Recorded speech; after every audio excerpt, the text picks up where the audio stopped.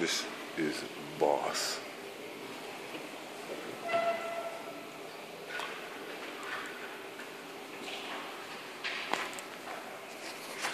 The lobby of Qatar Diar. They got like this water fountain thing here.